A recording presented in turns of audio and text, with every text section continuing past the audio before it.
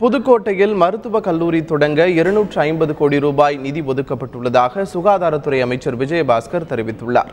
புதுக்கோட்டையில் மருத்துவக் கல்லூரி தொடங்கப்படும் என்று அறிவித்த முதலமைச்சர் ஜெயலலிதாவுக்கு பாராட்டு தெரிவிக்கும் கூட்டம் மாவட்ட வர்த்தக கழகம் சார்பில் நடைபெற்றது. மாநில அமைச்சர்கள் விஜயபாஸ்கர் சுப்பிரமணியன் உட்பட பலர் இதில் கலந்து கொண்டனர். நிகழ்ச்சியில் பேசிய அமைச்சர் விஜயபாஸ்கர் இந்தியாவின் முதல் பெண் மருத்துவர் முத்துலட்சுமி ரெட்டி பிறந்த ஊரான புதுக்கோட்டையில் மருத்துவக் கல்லூரி தொடங்க வேண்டும் என்ற நீண்ட நாள் கோரிக்கையை முதலமைச்சர் நிறைவேற்றியிருப்பதாக கூறினார்.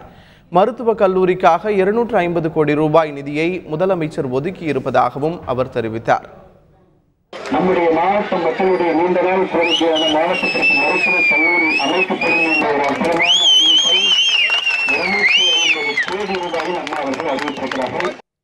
திண்டுக்கல் மாவட்டம் நத்தம் அரசு பெண்கள் மேல்நிலைப் பள்ளியில் மாணவ மாணவிகளுக்கு விலையில்லா மடிக்கணினி வழங்கும் நிகழ்ச்சி நடைபெற்றது. மாநில மின்துறை அமைச்சர் விஸ்வநாதன் நிகழ்ச்சியில் கலந்து கொண்டு தொள்ளாயிரத்து நாற்பது மாணவர்களுக்கு ஒரு கோடியே பதினாறு லட்சம் மதிப்பிலான மடிக்கணினிகளை வழங்கினார்.